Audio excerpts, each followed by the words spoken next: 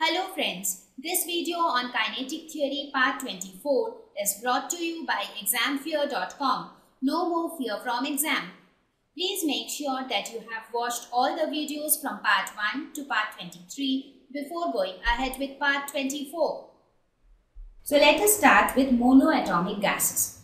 We will calculate the specific heat capacity for monoatomic gases. For monoatomic gases, as we discussed, they can only have translational degrees of freedom. They cannot have rotational or vibrational degree of freedom.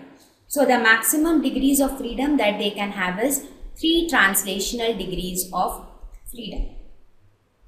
Now, from equipartition theorem, we found that each degree of freedom will contribute half kb into T to the energy. Therefore, 3 degrees of freedom will contribute 3 by 2 kb into T. This is the energy that it will contribute. Therefore, the total internal energy of 1 mole of gas. What would be that? From kinetic theory, the average kinetic energy will be equal to 3 by 2 kb into T now I am calculating the total kinetic energy and not the average kinetic energy.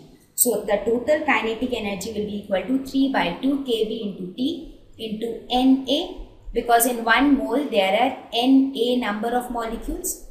So this will be equal to 3 by 2 kb into Na is equal to R. So 3 by 2 RT. Now what is CV? That is the specific heat capacity at constant volume is equal to du by dt. So that is equal to 3 by 2 R. So this is the value of specific heat capacity at constant volume. We also know that Cp minus Cv is equal to R. For an ideal gas, this is the relation between the specific heat capacity at constant pressure and at constant volume. Now Cv is equal to 3 by 2 R. Therefore, Cp will be equal to R plus Cv which is equal to R plus 3 by 2 R that is equal to 5 by 2 R. So, these are the values of the specific heat capacities for monoatomic gas. So, what will be the ratio of the specific heat capacities? That is gamma is equal to Cp by Cv. So, this gamma is also a parameter. So, gamma is equal to 5 by 2r divided by 3 by 2r. So this comes out to be 5 by 3. So the ratio of the specific heat capacities remains the same that is 5 by 3 for all monoatomic gases.